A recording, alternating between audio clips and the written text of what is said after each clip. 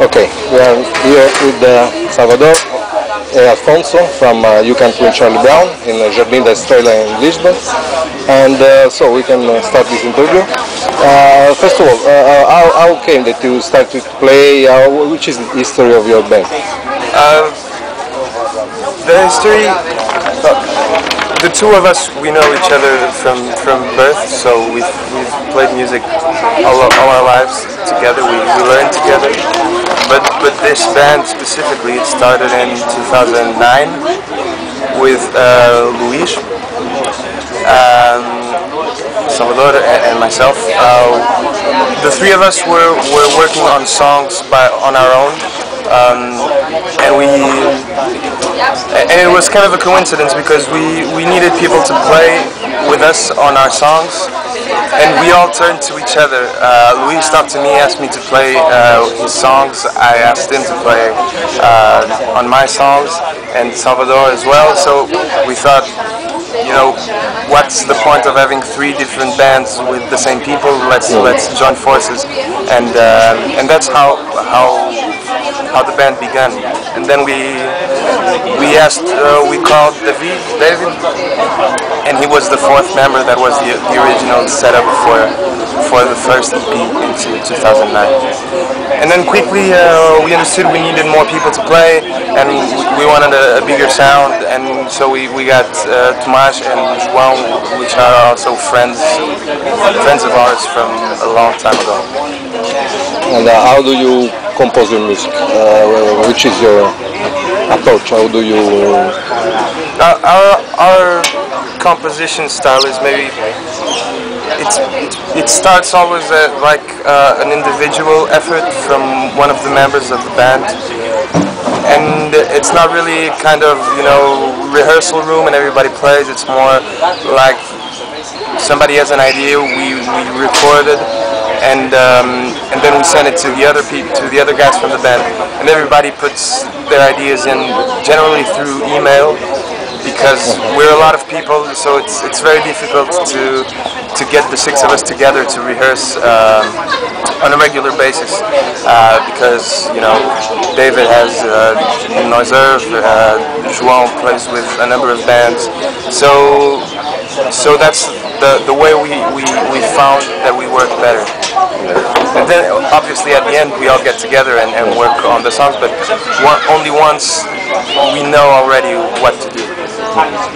And uh, which you consider to be your musical influences, or uh, what do you listen? What do you like? What do we we listen to, to a lot of things, and we're we're six people, so it, that that makes a lot a lot of, influences. But uh, I can I can only speak for myself. But you know, there's of course since I was little, you know, stuff like like the Beatles and uh, and like maybe Paul Simon, you know, that the stuff my, my parents had, and then over the years a lot of stuff. Maybe more recently stuff like Animal Collective and, and Grizzly Bear and, and, and stuff like that. But um, but you know, it's always influences always come from your whole life experience. So so it's it's difficult to sum it down to, to a few bands.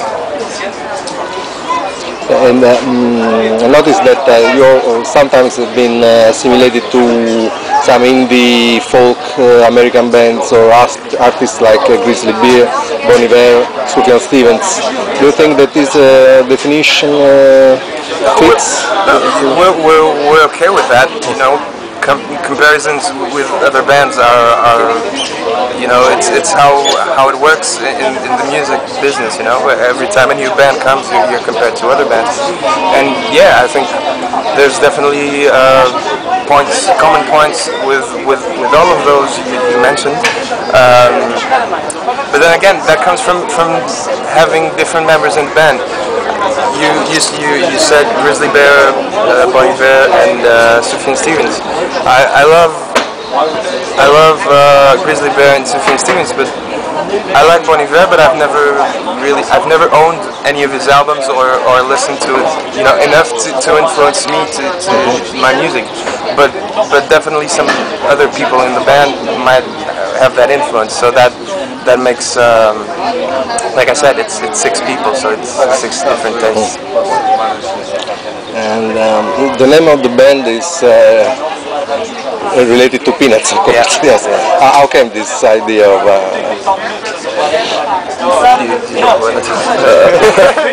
You explain you explain it a lot better than I. Okay. So, uh, Well, it was in uh, in, in 2009 when um, we had recorded some of our first songs, and, and one of our songs was going to be in a, in a, um, a compilation CD here in Portugal.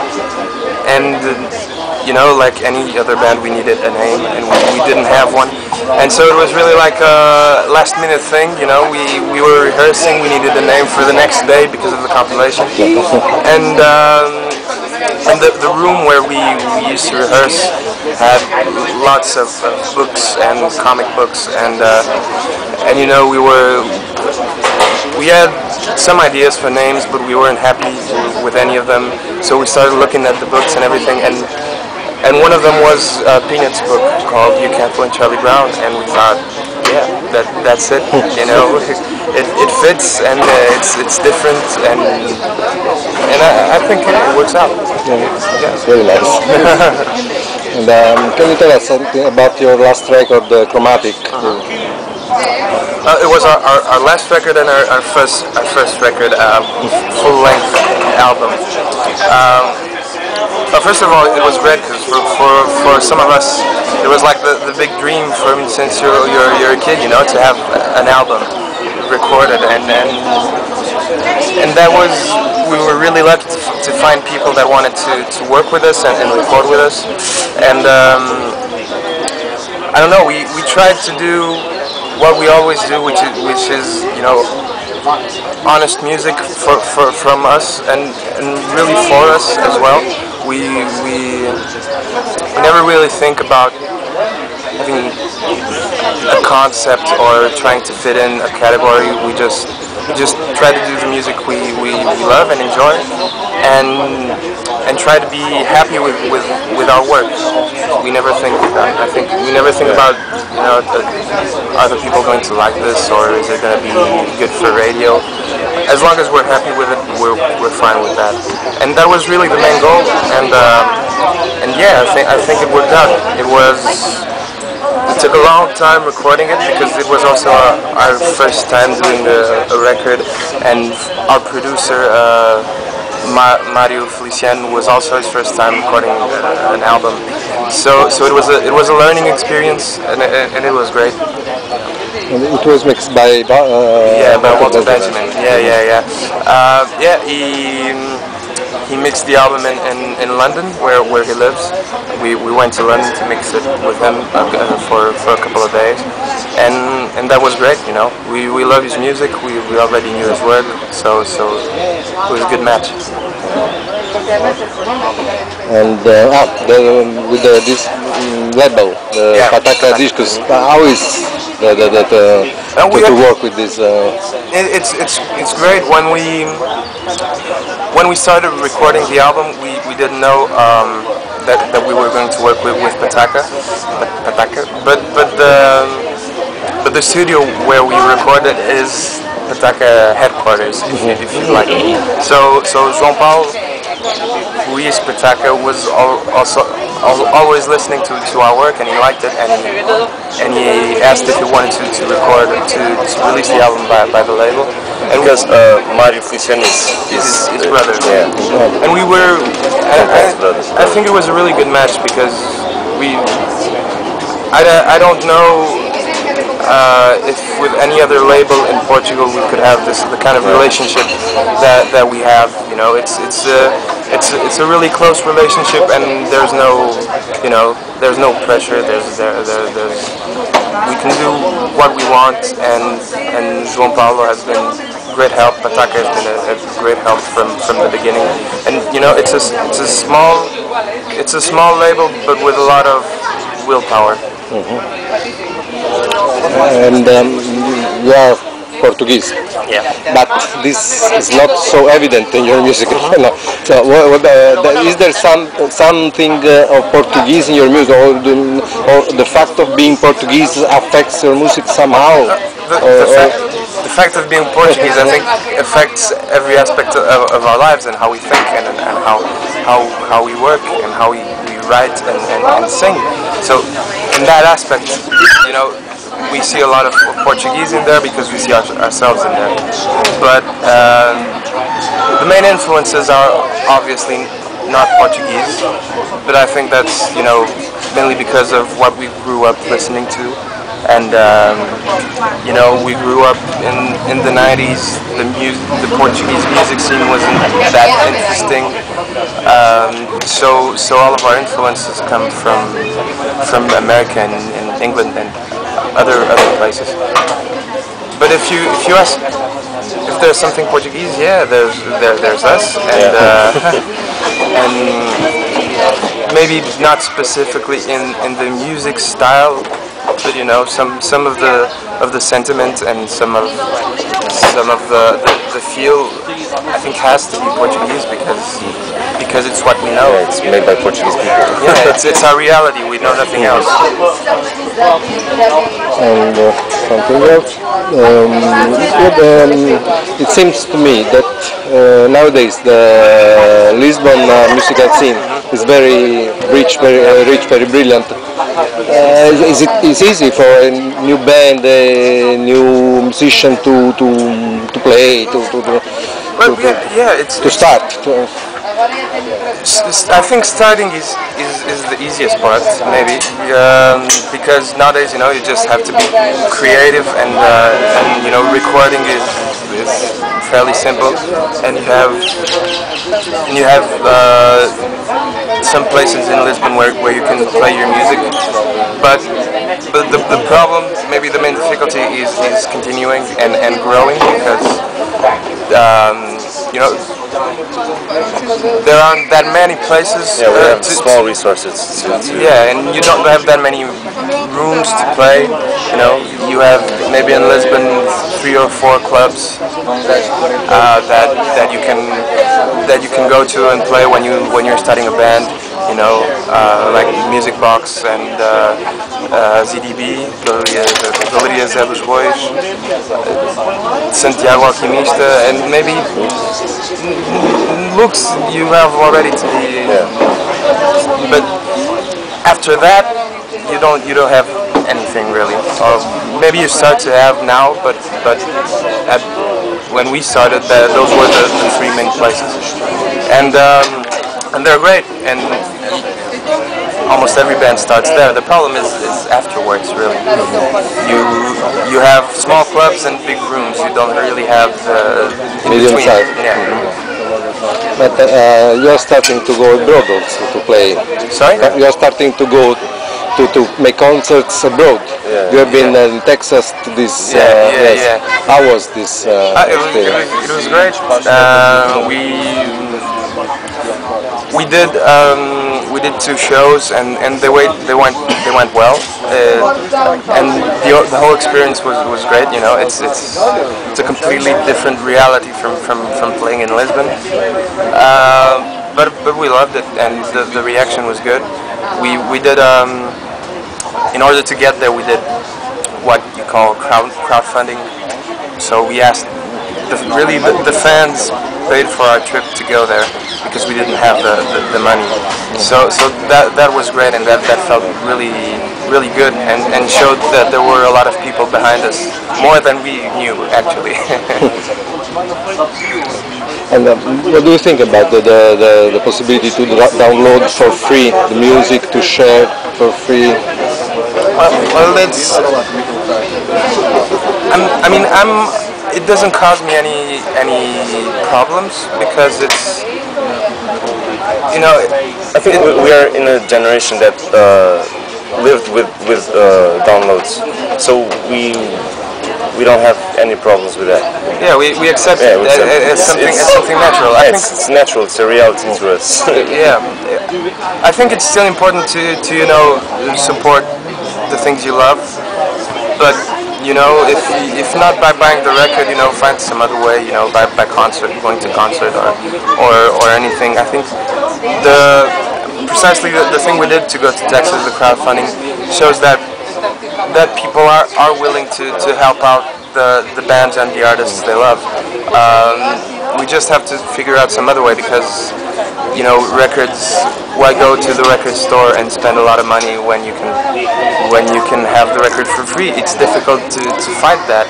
Yeah. Um, I, I personally, when I buy records, I usually look for something, someone that I know will will need, you know, the, the support and, and the money, or maybe because the artwork is really great and it's something that I, I really want to have. But otherwise, I'm I'm okay with, with downloading, you know, download or Yeah, all of us are. yeah, All of the, the, the group members are fine with that. yeah. And uh, what else I want to ask you? Uh, I, I had a question in my mind now, forgot, and maybe, maybe it will come up later. And um, uh, future projects, which are your, your future projects? We're going. Uh, we're starting to, to write new songs for the next album. Yep. Uh, yeah. Right now, it's we're, we're really focused on, on you know the summer. We will have uh, quite some, some, some gigs and, and a couple of festivals. Well, uh, Here in Portugal. So now it's you know now right now the priority is, is, is getting those ready and uh, and hope, hopefully after that we can start really working on on. Uh, on album number two, yeah, we're, we're writing, you know, uh, like like I said before, each of us, you know, like on our own, and uh, and once we have the time, we, we will all start uh, getting ideas together and making something, you know, comprehensive and that, that can make a, a whole album. And, uh, will you come to Italy sooner or later? Will we have this pleasure? we would love to. That, doesn't, that doesn't depend on, on us. Would love to. Yeah. Anywhere. But Italy, yeah, definitely. Uh, do you have a fan club? Sorry? You said that you could go uh, to Texas uh, thanks to the support of your Yeah, fans. yeah, yeah. You, you have a fan club or No, or does uh, no, disorganized? just- Yeah, just, just the regular stuff, you know, social networks and, and stuff like that. Uh, now, just in my curiosity, what, do you know about Italian uh, music? Uh, do, which is your perception, your knowledge? Actually, I was I was thinking about that. I don't I don't really know any. I, I may be saying something stupid, but I don't know any anything right now coming from from Italy that, at least has, has, has reached me. But at the same time, I've, I've not been really attentive lately. I've been more listening to, to, to world stuff. So I don't know. You tell me if there's something we should we should, we should check out. yeah, yeah, yeah, I can tell you. Yeah, that. tell me. No, there are some bands, but no, I, I must say that uh, Italy is very affected by this uh, nationalist attitude of the of the labels of the persons who work in this uh, sector. So uh, when you make uh, something, it must be uh, sound Italian Sound Italian. uh, so- somehow. We, So- had that, that issue here, but I think it's, it's starting to, to, to fade. No, there are some very very good musicians, even if they sing in Italian, and maybe they are just for Italian market. For example, Paolo Conte, but which is also very famous in uh, France. Or for example, uh, The name is uh, strange. Paolo Conte, is, Yeah, yeah, for, for Italy is very normal. Uh, or Fabrizio De André was an outstanding uh, songwriter, who was also famous abroad. Uh, Lucio Bat- he died recently, another who died uh, recently is Lucio Battisti.